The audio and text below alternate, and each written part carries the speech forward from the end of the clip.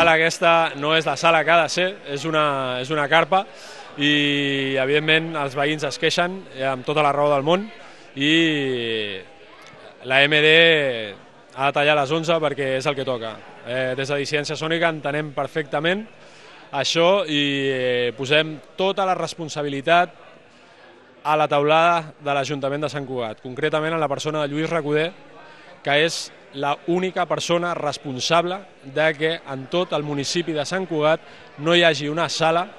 on fer concerts i esdeveniments d'aquest tipus. Portem 25 anys sense sala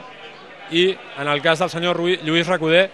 portem exactament 8 anys de promesa incomplerta.